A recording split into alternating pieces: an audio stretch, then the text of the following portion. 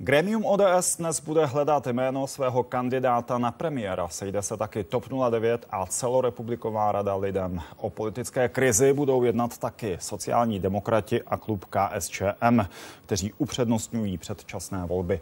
Prezident Miloš Zeman se do jednání vloží v pátek, kdy si na hrad začne zvát zástupce jednotlivých parlamentních stran.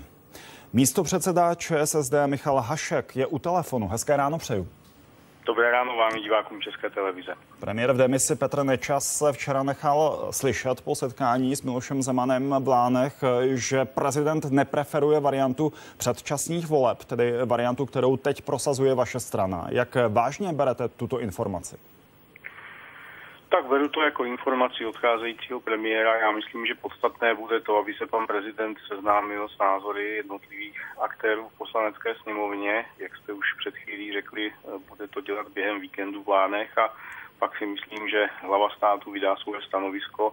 Samozřejmě pan prezident eh, má teď v rukou hlavní trumfy podle ústavy, to bude právě on, eh, kdo pověří, eh, kdo pověří promiňte, nového premiéra a bude také jmenovat novou vládu. Ano, mě šlo spíš o to, zda tento výrok Petra Nečase je pro sociální demokracii nějaký signál o postoji prezidenta Miloše Zemana k řešení té stávající situace.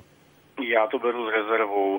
Nikdo hradní administrativy, konec konců ani prezident Zeman nepotvrdil autoritativně tento výrok a já si myslím, že by Petr Nečas byl mluvčím pana prezidenta. Takže eh, možná pan Nečas eh, jak si si nějak interpretoval debatu eh, s Milošem Zemanem, nicméně znova říkám, eh, ode dneška začínají intenzivní jednání uvnitř poslanecké sněmovny, eh, budou se scházet politické kluby. Myslím si, že do pátku, do soboty tady může být celá řada nových informací a po víkendovém úvodním kolečku jednání hlavy státu s představiteli politických stran budeme všichni moudřejší a uslyšíme přímo z prezidenta republiky, jaká je jeho představa řešení současné ústavní krize.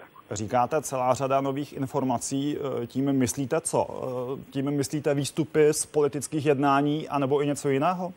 Tím myslím výstupy z politických jednání. Tím myslím to, že tuším včera v noci se objevila informace o tom, že policie pokračovala ve své práci, pokud jsem dobře zaznamenal například na serveru dnes, mělo včera dojít k tomu, že opět probíhaly nějaké domovní prohlídky. Tuším, že to bylo u nějakých poradců ministra Kuby, ministra Bendla. My uvidíme, co všechno se ještě může stát během těch následujících dnů. Jinými počítáte i s variantou možného obvinění dalších politiků z řad eh, současné vládní koalice?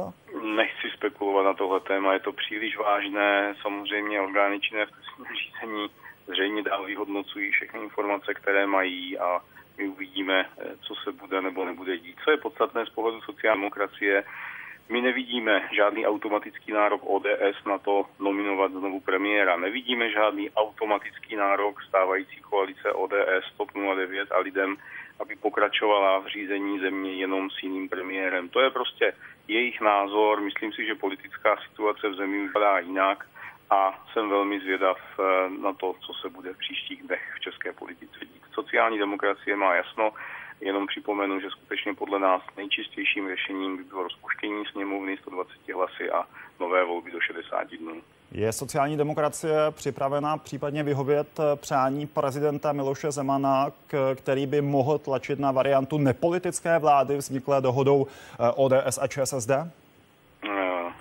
myslím, že tady není na stole žádná varianta dohody ODS a ČSSD o nějaké nepolitické vládě. Všechno jsou to spekulace, prezident se ještě nevyjádřil. Když se podíváte na současný půdorys sněmovny, kde je 17 nezařazených poslanců, to je historický rekord, to jsou lidé, kteří původně kandidovali na kandidátkách politických stran, je evidentní, že jenom velmi těžko by vznikla nějaká vláda, řekněme, s větší průřezovou podporou stávající poslanecké sněmovny. Česká republika potřebuje politickou, nikoli úřednickou vládu se silným mandátem. Čeká na sestavování státního rozpočtu. Mají být dokončena jednání s Evropskou unii o evropských fondech na roky 2014 až 2020 a konec konců Česká republika také řeší následky povodní. My si myslíme, že po nových volbách nová politická vláda s mandátem je přesně to řešení, eh, které Česká republika skutečně potřebuje. Dobře, jak by se tedy sociální demokracie postavila eh, k případnému postoji prezidenta Miloše Zemana, kdyby preferoval tuto variantu. Dohoda ODS s ČSSD na nepolitické vládě. Tak to já rozumím tomu, že mě kladete tu otázku a já vám znovu odpovídám. To jsou čisté spekulace, hlava státu nic takového dosud nenaznačila a my v těch jednáních, která budou probíhat o víkendu Vány, budeme přesvědčovat pana prezidenta, že nejlepším řešením budou nové volby. To je skutečně věc, kterou Miloš Zeman uslyší od zástupců sociální demokracie. Žádné dohody s ODS, nemyslíme si, že by dobrým řešením byla úřednická vláda, preferujeme nové volby. Ještě jedna věc. Eh, tím, že premiér Petr Nečas včera podal demisi, padá varianta mimořádné schůze, kde se mělo uh, jednat o vyslovení nedůvěry vládě. Měla by teď sněmovna pokračovat ve své řádné červnové schůzi, nebo je, řekněme, lepší za současné situace schůzi přerušit? Předmětem jednání vedení poslanecké sněmovny jednotlivých poslaneckých klubů.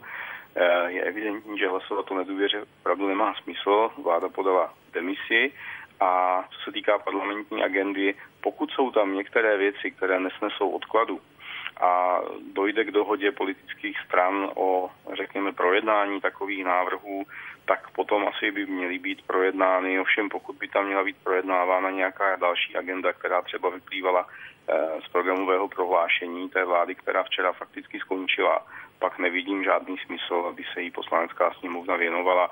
Sám jsem zvědav, jak se dnes bude situace vyvíjet.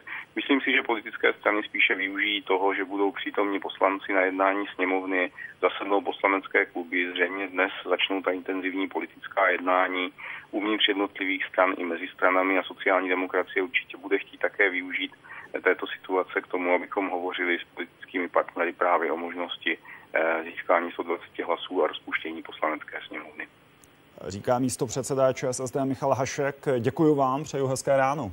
Já vám také děkuji a přeji hezké ráno vám divákům.